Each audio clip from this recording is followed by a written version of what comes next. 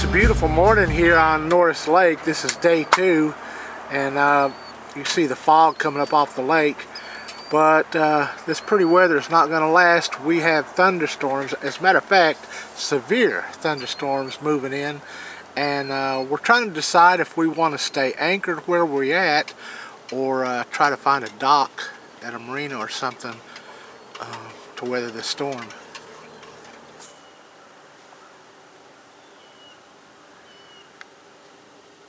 Well, last night was pretty uneventful. Our anchor held, yay.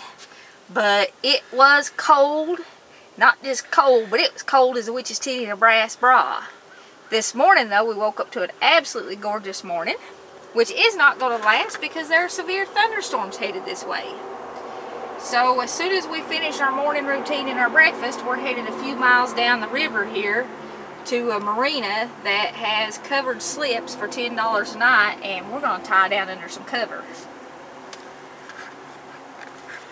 Okay, Bret is diabetic and he has to do several insulin injections a day and we also have to mon monitor his vital signs every single morning. We take his blood pressure, he does a pulse ox and temperature just to keep an eye on how he's doing because he has had some septic infections which were caused by the diabetes.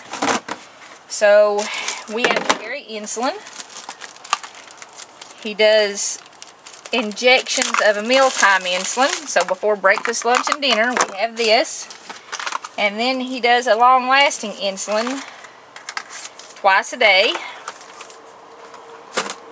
And all this stuff, we have to keep it sterile. We have to carry the alcohol pads um, the needles that go on these, the syringes for these. And it takes a little bit of work, but just because you're sick doesn't mean that you have to sit at home and just wait to die. You can still live your life as long as you have life to live. So that's what we're trying to do. Okay, I'm making some uh, sausage and eggs for bre for breakfast this morning, and I did these the same way I did the hamburgers. They were pre-cooked and vacuum sealed, so all I had to do was heat them up. And if you've ever tried to carry fresh eggs when you were camping or boating, you know it's nearly impossible. These are very easy to carry, and they don't take up hardly any room, and they're quick to make. And uh, Samantha made us a loaf of sourdough bread as a um, first trip gift, I guess. And I'm making Bret some toast out of it this morning, and I'm going to have a little toast for breakfast.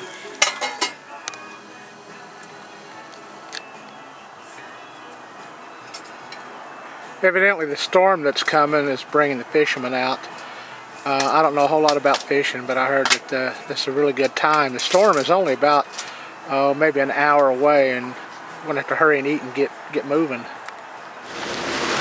Okay, I got the anchor in and we're headed over to Cedar Grove Marina trying to outrun this storm. It still is an absolutely gorgeous day, but the storm is less than an hour away from us now. And we're hoping we can make it there before it actually hits. You can see the water's getting a little choppy. The wind is picking up. Not much. The trees are not moving much but it's headed this way fast.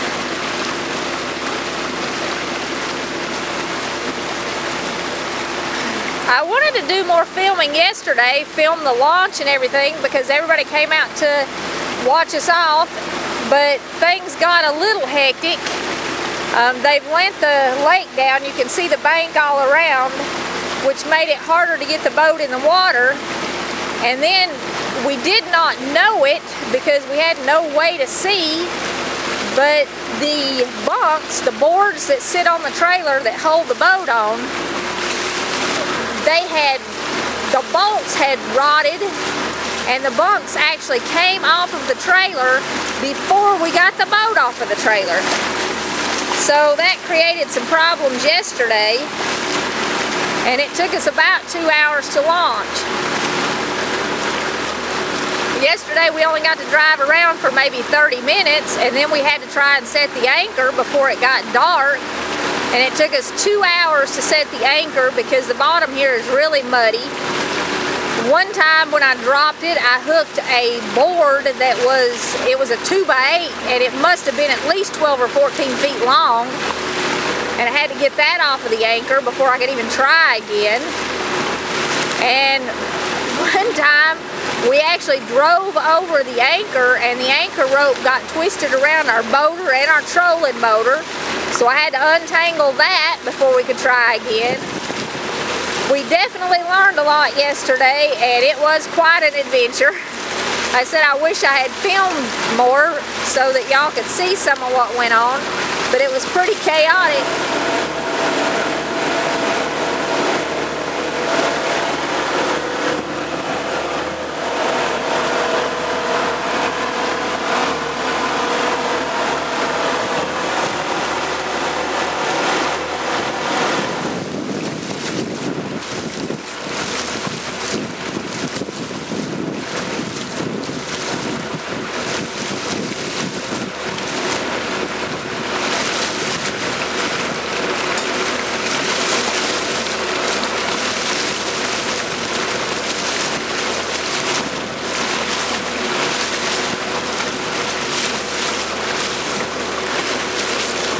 Okay, you can see the marina just up ahead and you can also see how cloudy that it has gotten just in the past 30-45 minutes. There are a lot of houseboats here at Cedar Grove and we have to get past all of them and get up to the dock. There's a little store there where we'll, we will rent our slip there and then she'll tell us where to go to. So we're actually going to have to dock twice, which is going to be fun with just me and Bret. And we've never done this before at all in a pontoon boat.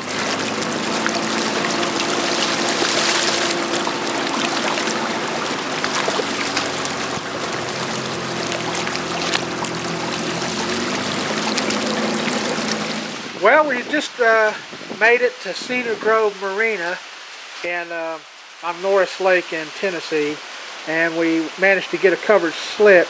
It took us about 45 minutes to get here. We just beat the rain and the current uh, right here was pretty bad. It was uh, kind of a tight quarters getting uh, the sputter butt into this covered slip and we had to make a couple tries at it. We got it and it took a couple times, but we managed to get in here without digging the pontoons out on the boat beside of us.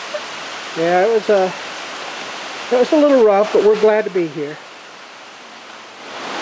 Here's a look at what's going on here. This is the weather radar. Uh, we're right here, and uh, the really hard weather is just now starting to get here.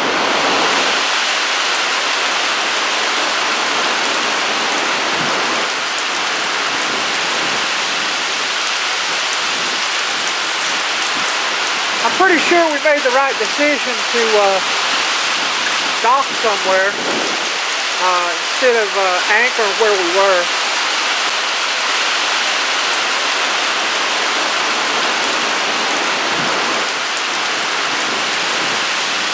Six o'clock at night and we're still here. We went through two rounds of storms and we've got more to go. Only good thing about this evening is Becky has a pot of chili and we're going to go in there and tear into it. Arr!